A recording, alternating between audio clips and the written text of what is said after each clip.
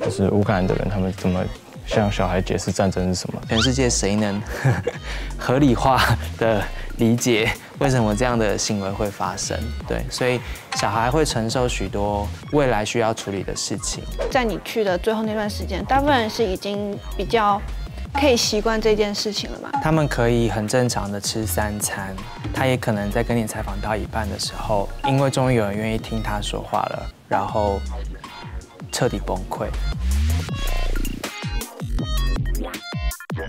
当台湾我们这个土地上的空袭警报响起时，其实大家也会做好准备。我们平常聊天内容绝对不可能是什么战争之类的东西。大家抱着一个就是心存侥幸，就觉得好像应该不会打过来的这种心态在讲。